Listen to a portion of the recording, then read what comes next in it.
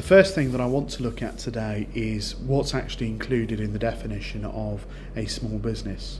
Um, there are different industry um, definitions, there are um, different interpretations of what a small business is.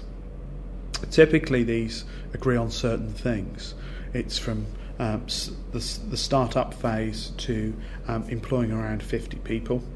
Um, they typically are owner managed and they're often run by families and friends. Um, they tend to focus on what they know um, and actually fallouts and failures uh, within these type of businesses come at a particular high price.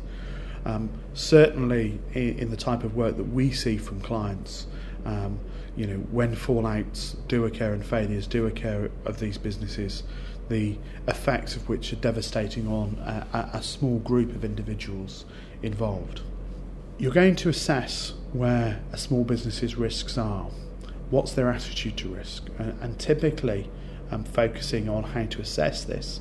You know, high risk factors would be um, something which is a speculative nature, where um, the business owners have limited funds, where perhaps there's no business plan, uh, or the business plan is unwritten, where they perhaps have no management experience or no industry knowledge and experience. It might be something that they've spotted as an opportunity, but they're, you know, um, they're, they're, they're taking a punt that they're going to be able to take their skills from another sector and apply them within the, the specific sector.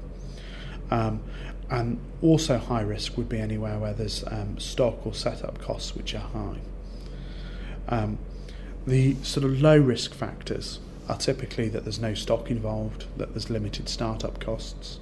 They've got um, good industry knowledge, they've got management experience perhaps within the industry, they've well researched their project, they've got a business plan which is established and working for them, or they've got a business plan which has been tested and, and, and looks robust, and they've got a solid financial footing. Now, when you're assessing those risks, you will assess them against the um, the, the business structures which are available.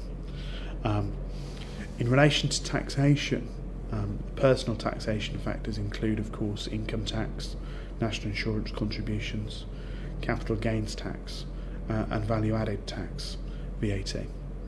Uh, business tax is typically, uh, you know, with a limited company include corporation tax, VAT again, um, capital gains tax again, um, and perhaps having to file a, an LLP return. Um, when looking at the um, the risk factors, you'll, you'll contemplate insurance with your client. You'll look at um, what risks are covered by the insurance. Um, you know, is if this is a one-man business, you know, is that key man insured? What happens if uh, that key man is no longer available? What happens um, if that key man is unwell? What happens if they're knocked over and killed by a bus tomorrow? You know, that still applies in a partnership. Because in a partnership, if you have two people and one of them suddenly is not available, whether that be a short term, um, you know, sustained illness of perhaps a few months, or a longer term death or, or serious incapacity, um, you know, what, what happens then? Um, health insurance, you know, do, do they need it? Have they got it? Um, employee insurance in terms of both employment tribunal claims and court claims, but also in terms of, you know, um, employers' liability insurance. You know, what what happens if they have an accident on the premises? Are you know are, are you insured? And public liability insurance. You know, you've got people visiting your premises. You know, what what happens if they have an accident? Um, and typically we see sort of public liability insurance being um, sort of missed by people who in small businesses who uh, perhaps initially set up from home, they have somebody come and visit them at home, they're not insured for public liability, they trip on the driveway.